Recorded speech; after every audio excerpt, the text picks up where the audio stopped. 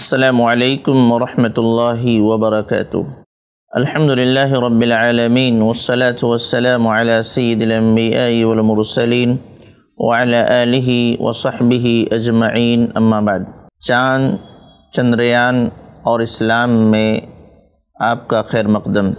آج کی مجلس میں جس موضوع پر گفتگو ہوگی وہ یہ کہ چاند انسان کے لیے پیدا کیا گیا ہے۔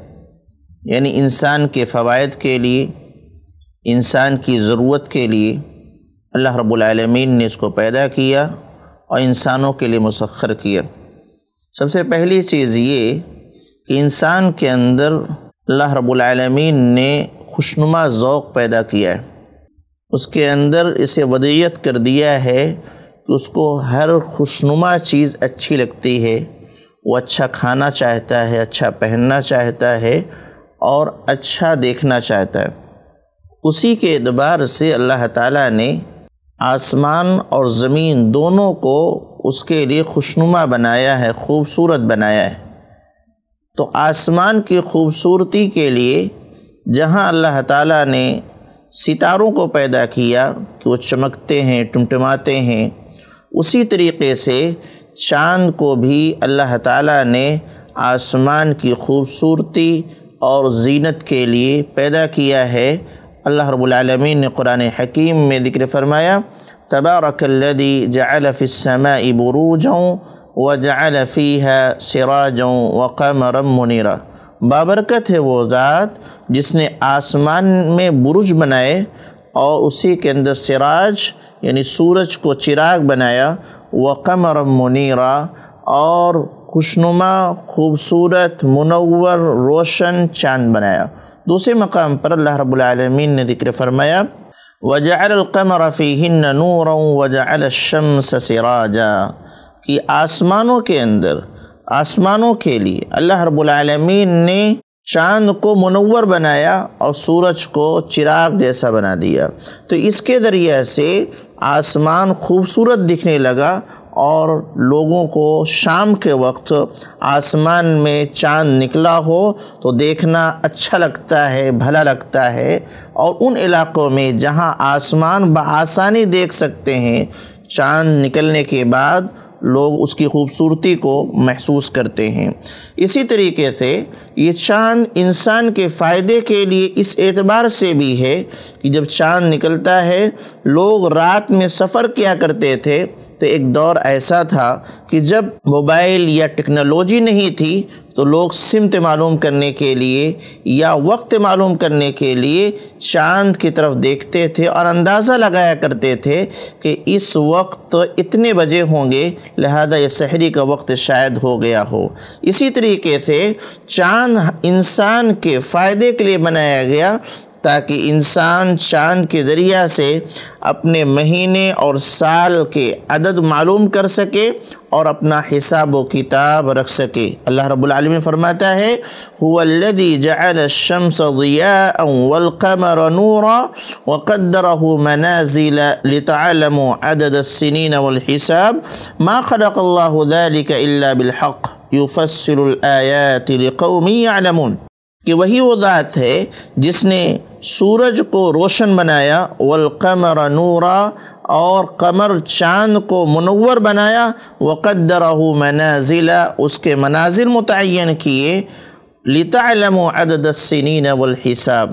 یہ منازل اس لیے متعین کیے تاکہ تم اپنے سالوں کی عدد تعداد معلوم کر سکو اور اپنا حساب متعین کر سکو۔ اللہ فرماتا ہے، ما خلق اللہ ذلك الا بالحق۔ اللہ رب العالمین نے اس کو بے مقصد پیدا نہیں کیا، بلکہ اہم مقصد کے تحت پیدا کیا۔ یفسر الآیات لقوم یعلمون اللہ رب العالمین آیات کی تفصیل بیان کرتا ہے ان لوگوں کے لیے جو عقل رکھتے ہیں، جو سوچنے اور سمجھنے کی صلاحیت رکھتے ہیں۔ یہ آیت کریمہ ہمیں آگاہ کرتی ہے کہ چاند کے ذریعہ سے لوگ اپنے سنین یعنی سال اور مہینے کی عدد معلوم کر سکے۔ آپ جانتے ہیں کہ دنیا میں اس وقت دو سال چلتا ہے، ایک قمری، ایک شمسی۔ ایک شمسی جس کو زیادہ تر لوگ انگریزی تاریخ کے اعتبار سے جنوری، فروری، مارچ، اپریل متعین کرتے ہیں اور دوسرا یہ ہے کہ جو ہے قمر چاند کے اعتبار سے جو محرم سفر ربیع اول، ربیع الثانی۔ تو یہ اللہ رب العالمین نے اسی لیے اس کو بنایا ہے کس کے ذریعہ سے مہینوں کی تعداد متعین ہو سکے اور لوگ اپنا حساب و کتاب رکھ سکیں کہ کس مہینے میں کیا ہوا ہے، کس مہینے میں کیا ہوا ہے اور ہم نے کس مہینے میں کس تاریخ کو کون سا کام انجام دیا ہے معلوم کر سکیں۔ تو یہ شمسی اور قمری دو سال ہیں۔ ان میں بھی ایک چیز اہم ہے، وہ یہ ہے کہ سورج کے اعتبار سے جو سال چلتا ہے جس کو شمسی سال کہا جاتا ہے ہے اس میں ہر دن متعین ہے کہ اس تاریخ کو سورج ایک ہی جگہ سے نکلے گا، موسم ایک جیسا ہوگا یعنی ہر سال آپ دیکھیں گے کہ جون کا موسم ایک ہی رہے گا، جولائی کا موسم ایک ہی رہے گا، جنوری اور فروری، اکتوبر کا مہینہ ایک ہی رہے گا یعنی اس میں موسم ایک ہی رہے گا، جبکہ قمری سال میں فرق یہ ہے کہ یہ بدلتا رہتا ہے۔ کیوں؟ کیونکہ یہ شمسی سال کے مقابلے میں دس دن کم ہوتا ہے، اس لیے اس میں ہر مہینے میں، ہر ہر موسم آ جاتا ہے۔ جیسا کہ اس سے پہلے ذکر کیا جا چکا ہے کہ کبھی رمضان کا روزہ ہم نے جون میں رکھا ہے تو کبھی جنوری میں بھی رکھا ہے، کبھی مئی میں وہ بدلتا رہتا ہے تاکہ انسانوں کے لیے، اللہ کے بندوں کے لیے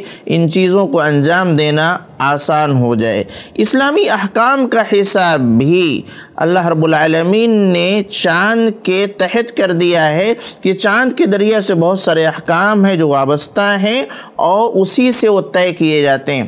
قرآن کریم میں اللہ رب العالمین نے اس دور کے لوگوں کے سوال نقل کیے۔ ان لوگوں نے پوچھا تھا اللہ کے نبی صلی اللہ علیہ وسلم سے اہلہ کے متعلق یعنی نئے چاند سے متعلق، یہ کیا ہے؟ تو اللہ نے جواب دیا، قل اے نبی صلی اللہ علیہ وسلم، آپ کہہ دیجیے، ہی مواقیت للناس والحج، یہ لوگوں کے لیے متعینہ وقت ہیں، اوقات بتانے والے ہیں، اور حج کا وقت متعین کرنے والا ہے؟ آپ دیکھیں اسلام کے بہت سارے احکام ہیں۔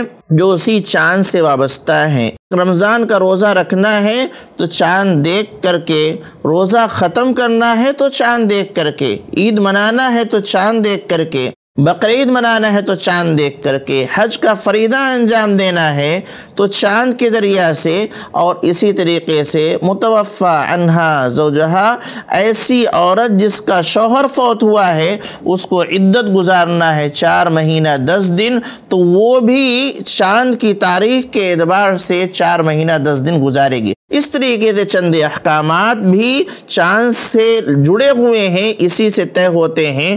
تو اللہ رب العالمین نے چاند کو اس مقصد کے تحت بھی بنایا ہے۔ ایسے ہی یہ جو جو رات ہوتی ہے یا جو دن ہوتا ہے، اس کا بدلنا یہ بھی اللہ رب العالمین نے چند نشانی کے طور پر رات کی نشانی میں چاند کو رکھا ہے۔ اللہ رب العالمین نے رات کے فوائد کو بھی ذکر کیا ہے۔ قل ارائیتم ان جعل اللہ علیکم النہار سرمدا إلى يوم القيامة.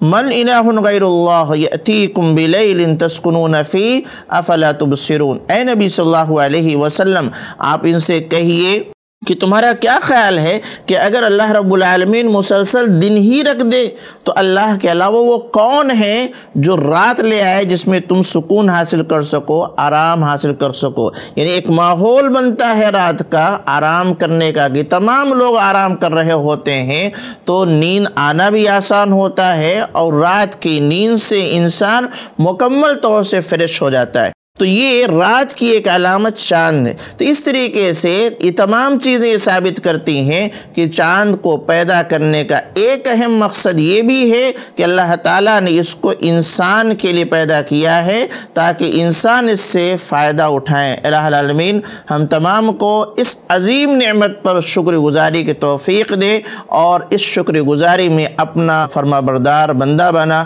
آمین۔ تقبل یا رب العالمین۔ السلام علیکم ورحمۃ الله وبركاته